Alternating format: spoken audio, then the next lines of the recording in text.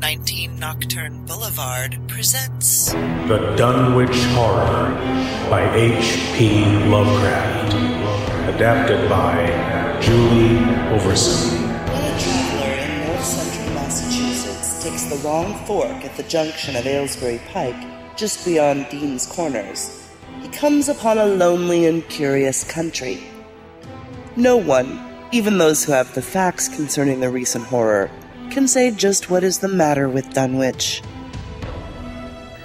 With Dave Marshall as Dr. Henry Armitage. Two centuries ago, when talk of witch blood, Satan worship, and strange forest presences was not laughed at, it was the custom to give reasons for avoiding the locality. Glen Hallstrom as Professor Warren Rice. Perhaps one reason, though it cannot apply to uninformed strangers, is that the natives are now repentantly decadent, having gone far along that path of retrogression so common in many New England backwaters. Lothar Tuppan as Dr. Francis Morgan. They've come to form a race by themselves, with the well defined mental and physical stigmata of degeneracy and inbreeding. And Charles Austin as Wizard Whateley. Of overt viciousness and of half hidden murders, incest, and of deeds of almost unnameable violence and perversity.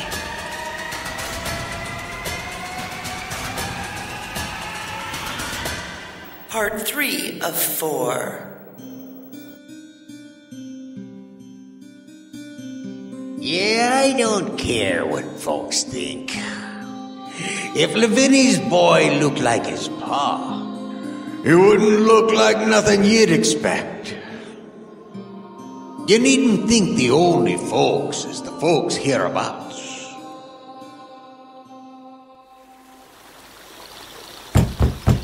Open up! We need help! He's gone gray. Please! Where'd that damn Silas get to?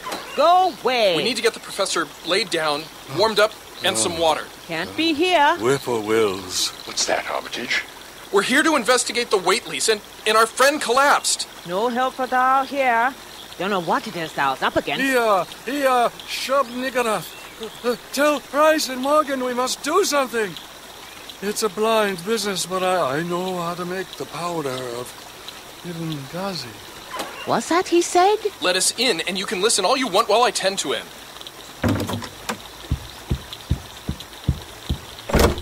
Come through shoppers then.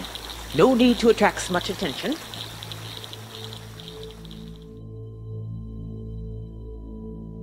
I made some use of them books.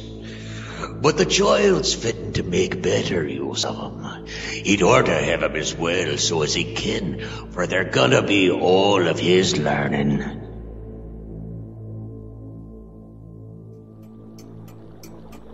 Stop them! Stop them! Tho- those Whateleys meant to let them in, and the worst of all is left.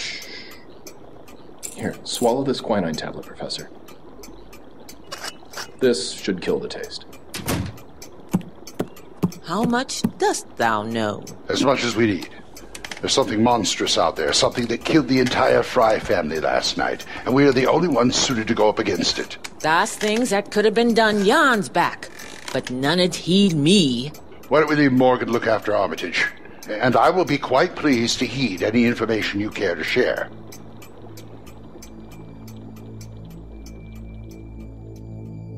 I, Lavini's read some when I forced her. And has eat some things as well that most of you can only tell about.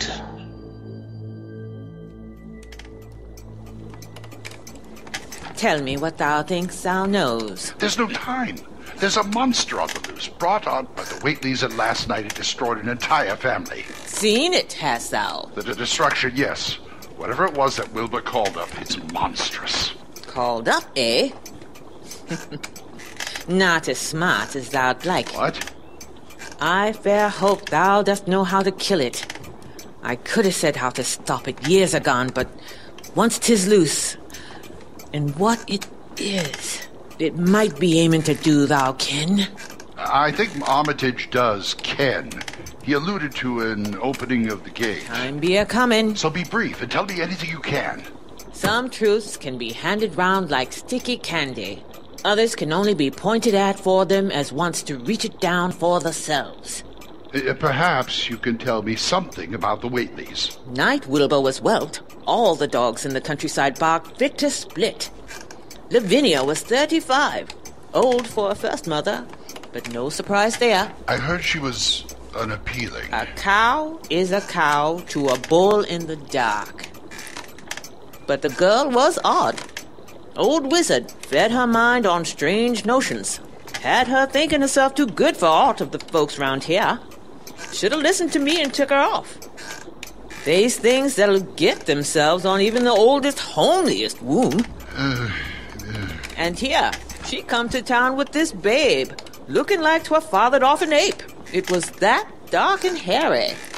I heard she was an albino. There must have been some contrast. Yeah?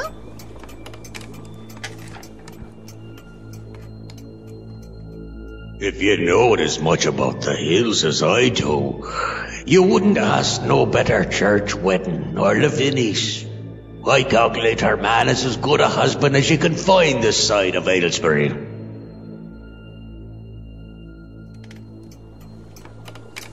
Every busybody in the town had a fair day trying to guess the sprig Wilbur sprung from. But none'd take that title for his own. Not for all the gold of old wizard. Not that old goat offered. And Lavinia. When aught'd pry, she'd get that look. All sly and superior. And brag on about how quickly the little critter was growing. She simply avoided the question? Time to time, she'd be caught muttering curious prophecies about the babe's skills and tremendous future. Always with that pride. Like that hen in the old tale that thinks it gave birth to a mountain.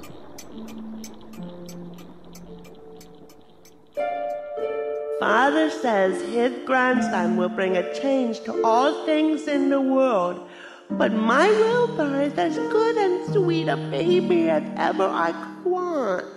He been chose to work big things, my perfect boy. Ah, everyone in town spoke about Lavinia as if she were deceased. When did this happen? None say for certain. She never went into hallowed ground.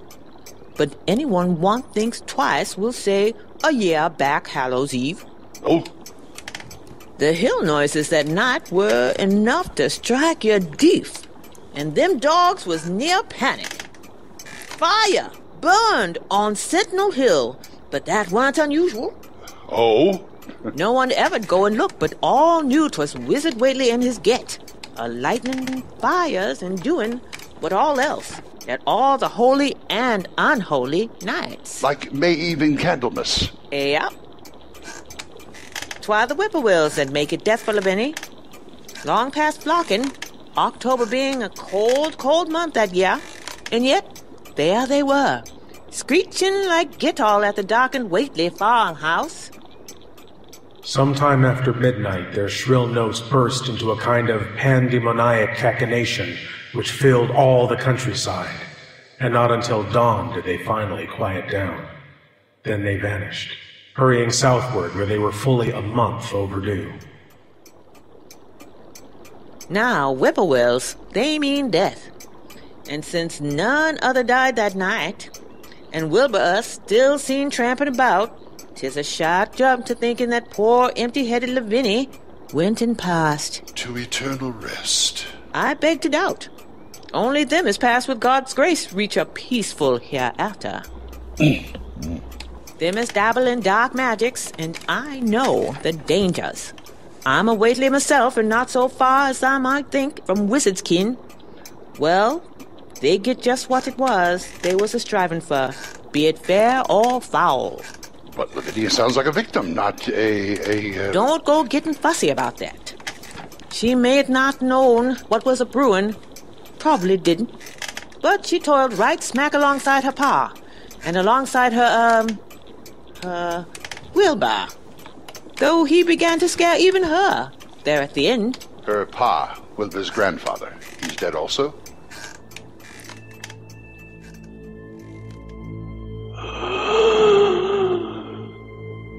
They whistle just in tune with me breathing now. And I guess they're getting ready to catch me soul. They know it's going out, and I don't calculate to miss it.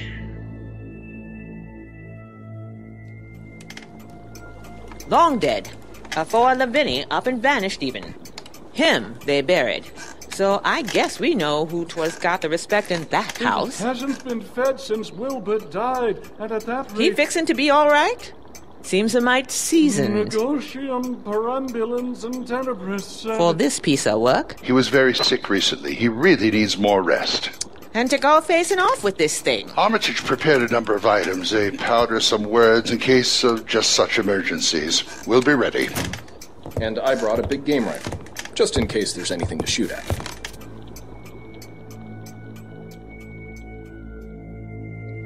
Let me tell you something. Someday you folks will hear a child o' Lavini's a uh, calling its father's name from on top of Sentinel Hill.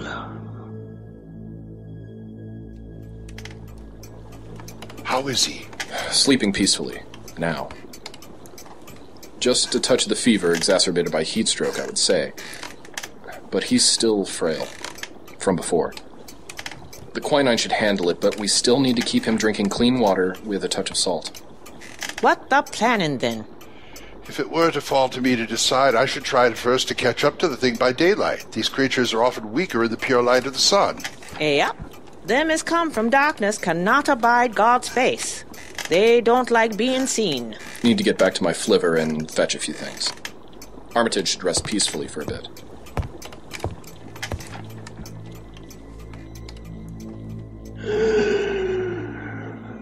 More space, Willie. More space soon. You grows, and that grows faster. It'll be ready to serve you soon, boy.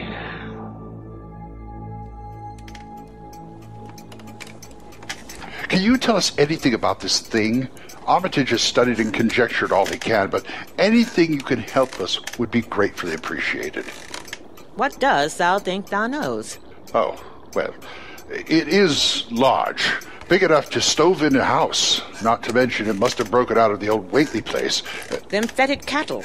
Trotted them right up a ramp on the side of the place like a regular slaughterhouse. oh, uh, they must have summoned it inside the building then. Donkey's piss. thou want here for Wilbur's life, and cannot ken, but it were growed. Once 'twas small enough to fit through the most natural gateway into this world of ours. Which is? But anything will grow. Tis fed enough, and this thing, well, it ate and ate.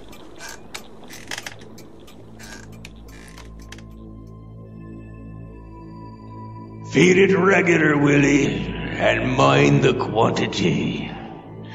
If it busts quarters or gets out before yours opens to sort off, it's all over and no use. Only them from beyond can make it multiply and work. Only them, the old uns as wants to come back.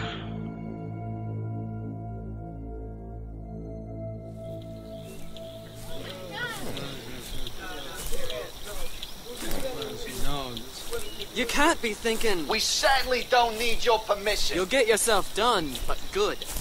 Police? All the way out here? Hello! Oh, please be someone that talks normal English. I'm from Arkham. Finally. Had enough of these blasted hicks to last me all week. Hicks? Well, I never. Shh. I'll see if I can't talk some sense into these good police officers.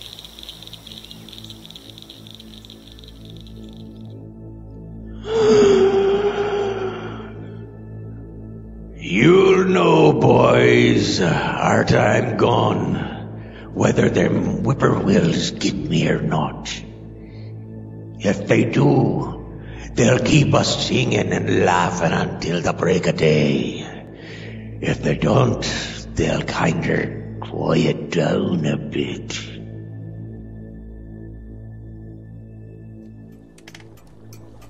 Rice? Morgan? Armitage? Pardon me. Are you all right? Weak. Should have known better than to chance a swig off that bottle of Morgan's. Uh, is he? Gone back to the auto, but not until he was sure you were through the worst. Did I babble much? Enough to get us an invite into this charming abode.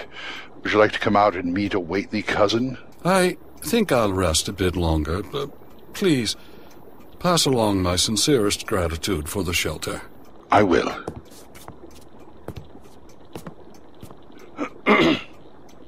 I'm glad you're not, uh. Seconded.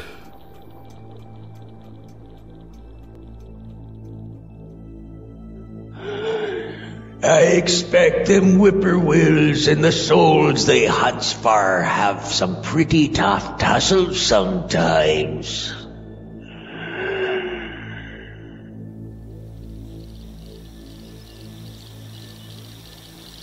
Haul our fannies this far into the middle of nowhere just to turn tail and ramble back home. You don't understand what you're dealing with. Monsters. Ah, These people believe anything. Have you taken a good look at the the house there? What's left of it? A fire? Maybe an explosion? If there's any creature involved, it's probably a bear. A bear. or perhaps escaped from a circus. Or one of them big monkeys. I said either a bear or. Or? Well, more likely it's what we're always dealing with out in the boondocks like these. Which is? Bootleggers. Don't know how crafty these hick buggers can be. But the prints in the road. Done to frighten the yokels. In that house. Probably where they were making the swill. These idiots don't think twice about the fact that liquor burns. It's a going again. And this time by day. It's out. It's out and a moving this minute. And only the Lord knows when it'll be upon us all. Oh, saints preserve us. Where? Where is it? Oh, don't encourage him. It was Miss Corey. What put you fellas up last She night? says Luther was out driving the cows when he sees all the trees a bending at the mouth of the glen, opposite side to this, Ah. and smelt the same awful smell like he smelt before. My good God. He says they was a swishing, lapping sound. More'n what the bending trees and bushes themselves could have made. And all of a sudden, the trees along the road began to get pushed to one side. It's an awful stomping and splashing in the mud. A giant monster. Mind you, Luther, he never seed nothing at all, only just the bending trees and underbrush. Ah, yeah. A giant invisible monster. It all makes sense now. Where did it go to? Did they see? Are you actually pandering to this nonsense? Whether this is a monster or a bear or a flaming punch drunk gorilla, people are dead and someone needs to stop it. Let's go then. You've taken leave of all your senses. Ah, we see this all the time, trying to put us off. Where is it you said it went? Cold Spring Glen? Where else? I really think this is a bad idea. Good. You can come along with us. Only if I can bring my gun. The more the merrier.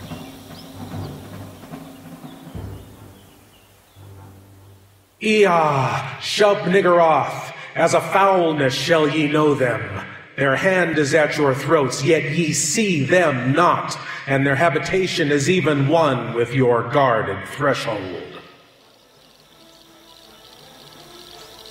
What the devil is that? It's an elephant gun. Nonsense. Elephant gun's too long for the luggage compartment. This is a 475 caliber cordite double express. That's a mighty big pea shooter you got there. That's the other name for it. Won't do you no good, though. Not against what's down there in the glen. We'll see about that, won't we? Come on, boys. Help me with the Tommy guns. Five of those will top your rifle any day. Yes, sir. Yes, sir. You folks here, this is official government business, see? If you got friends down in what you call Cold Spring Glen, this is the time to send ahead and tell them to clear out. We're going in there and we're loaded for bear. Or gorilla. Yeah, once the bullets start flying, there's no telling who might get hurt. Keeping up this monster charade isn't gonna do you any good. Mister? Your heater, Frank. Thanks. Everybody ready? Ready, boys? Yes, sir. Yes, sir. Officer? What? Uh, what should we do with your automobile when you folks don't come back?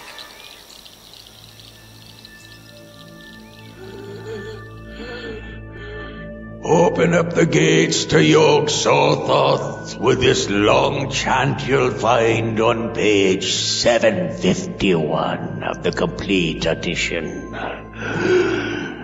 And then put a match to the prison. Fire from earth can't burn it no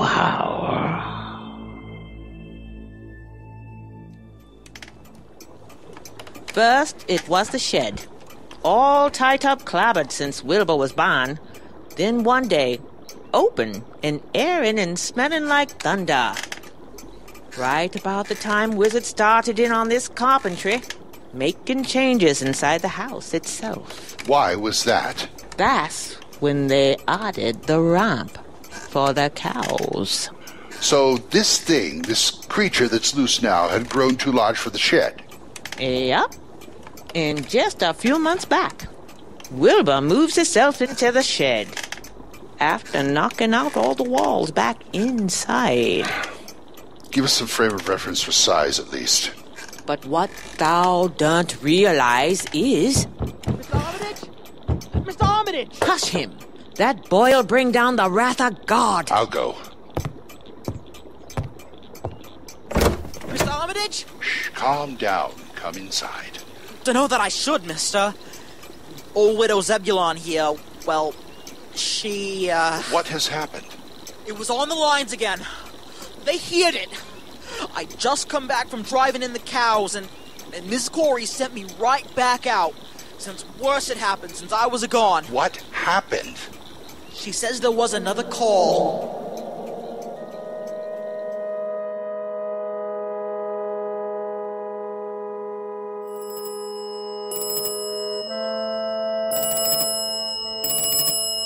Lord help me.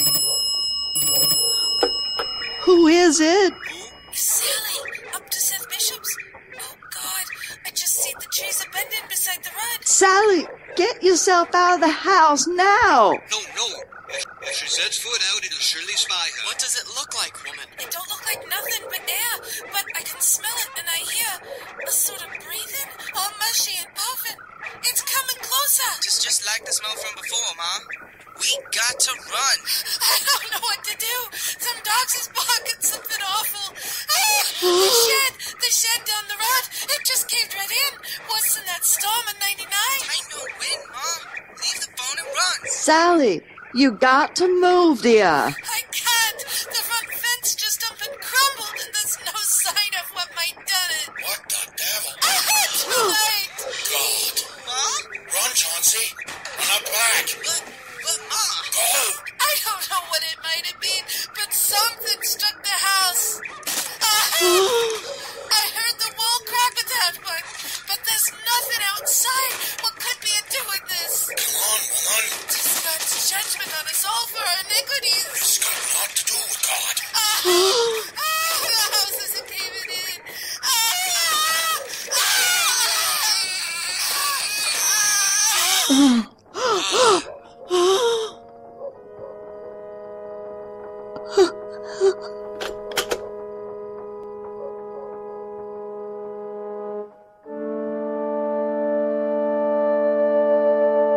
And not a sound nor squeak over the phone after that.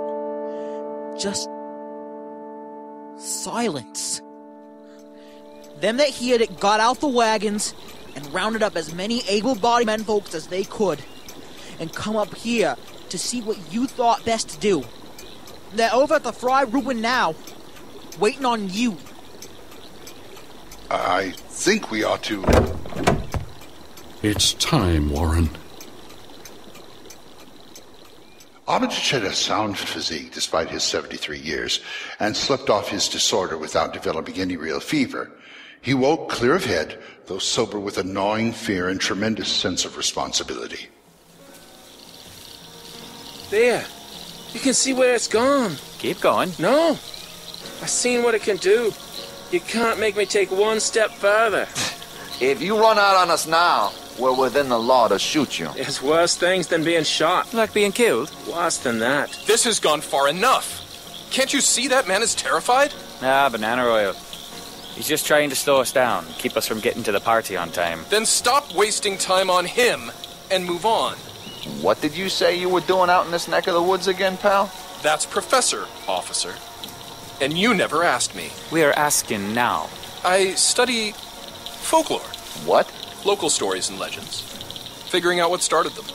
Why? Because uncovering events that cause superstitions, revealing the misunderstandings or natural phenomena that lead to unusual beliefs, such as those that are particularly prevalent in these sorts of rural areas, can lead to a better understanding Okay, of. okay, stifle. He's a professor, all right. Let's move. Yeah, boss. Yes, sir. No wonder none of them college boys is worth a tinker's damn. It's full of that sort of shit. You coming, Prof? Yeah. If I could stop you, I would, but since I can't, the least I can do is try to to help. And maybe get some kind of look at this thing. yeah.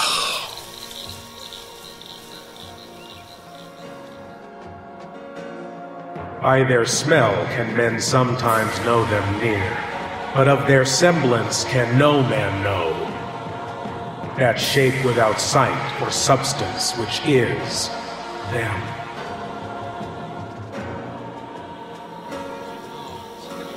What's all this? Where's Morgan? God, I tell them not to go down into the glen. I never thought nobody'd do it. What with them tracks and the smell and the whippoorwills a screeching down there in the dark of noonday?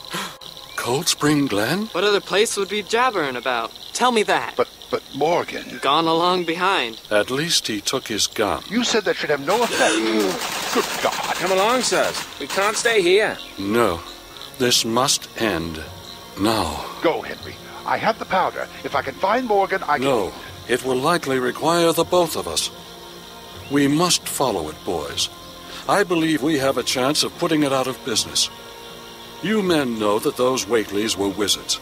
Well, this is a thing of wizardry, and must be put down by the same means. You? A wizard? Well, I've seen Wilbur Whateley's diary and read some of the strange old books he used to read, and I think I know the right kind of spell to recite to make the thing fade away.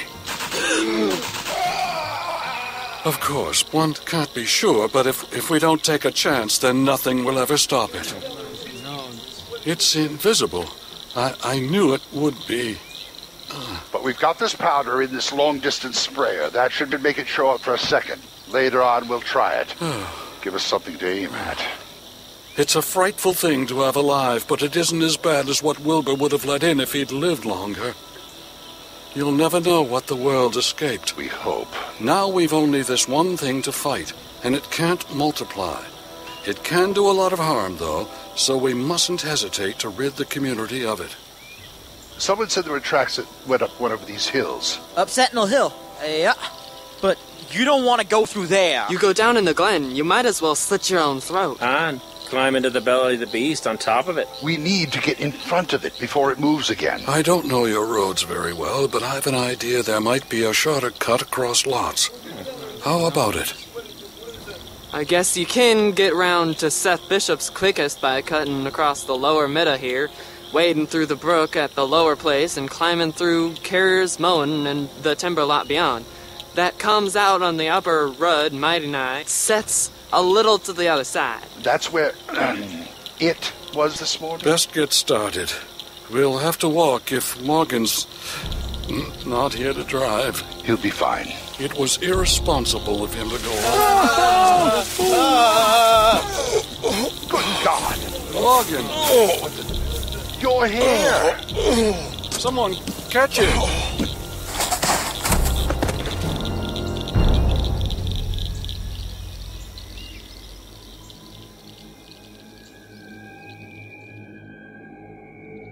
Let me tell you something. Someday you folks will hear the joy of the living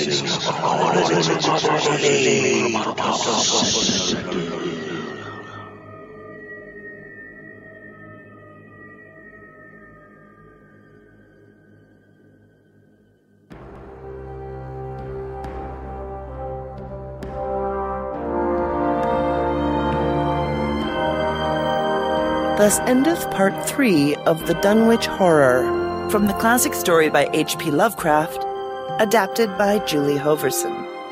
In The Dunwich Horror, Professor Henry Armitage was Dave Marshall. Professor Warren Rice was Glen Hallstrom. Dr. Francis Morgan was Lothar Tuppan. The voice of the Necronomicon is Lord Blood-Rah. Wilbur Whateley was Danar Hoverson. Wizard Whateley is Charles Austin. Lavinia Whateley is Julie Hoverson. Miss Ward is Eleice Krawiec. Mrs. Armitage is Kris Keppeler. Dr. Hartwell is Chris Lackey of the H.P. Lovecraft Literary Podcast. Curtis Whateley is J. Spyder Isaacson. Mamie Bishop is Beverly Poole. Earl Sawyer was Rick Lewis. Silas Bishop is Eli Nilssen. Joe Osborne is Reynaud LeBoeuf. Mrs. Corey is Robyn Keyes. Mrs. Fry is Kimberly Poole of Warped Space. Luther Corey is Matthias Rebne Morgan. Widow Zebulon is Rhys T.M.